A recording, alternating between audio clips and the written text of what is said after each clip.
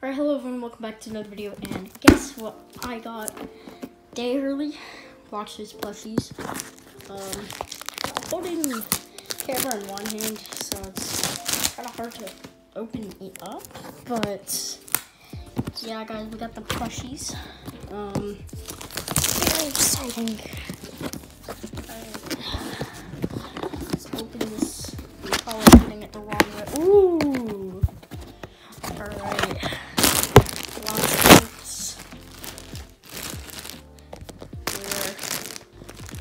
It?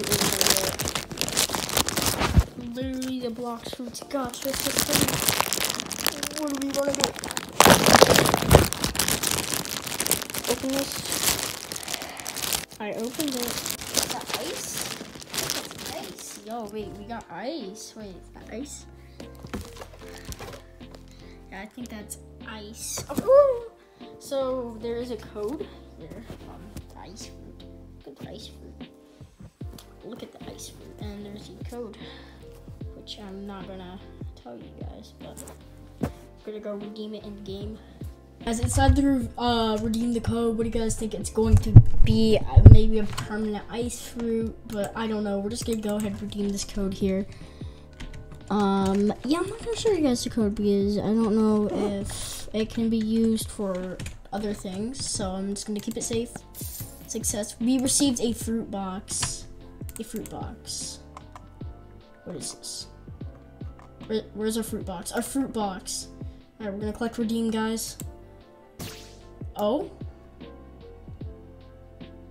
Oh, do I click? Okay, wait.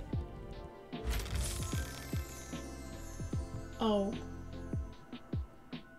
Oh, that, that, that was really okay. Well, at least the plushie was actually good.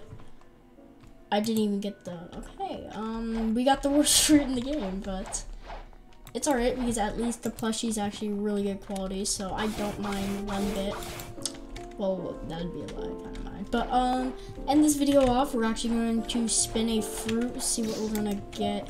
Since we have 16 million Beli now, so we're gonna see what fruit we're gonna get. Uh, hopefully we get good luck. yo, yo! Oh my god, we got the the previous paw fruit, but now it's called the pain fruit. Okay, okay.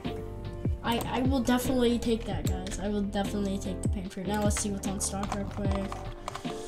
Um, nothing good. Okay, so that's gonna be it for today's video. If you guys think this is a W purchase, let me know in the comments below, and I'll see you guys in the next video.